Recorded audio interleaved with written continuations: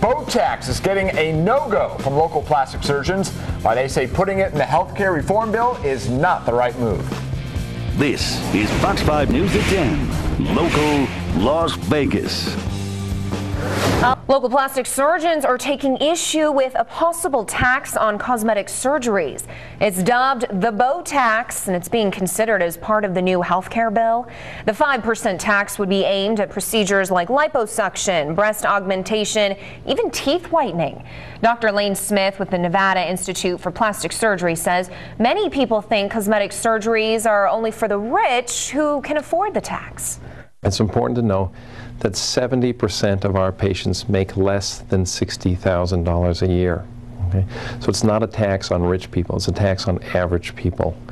Dr. Smith also says most plastic surgery is restorative, either physically or mentally.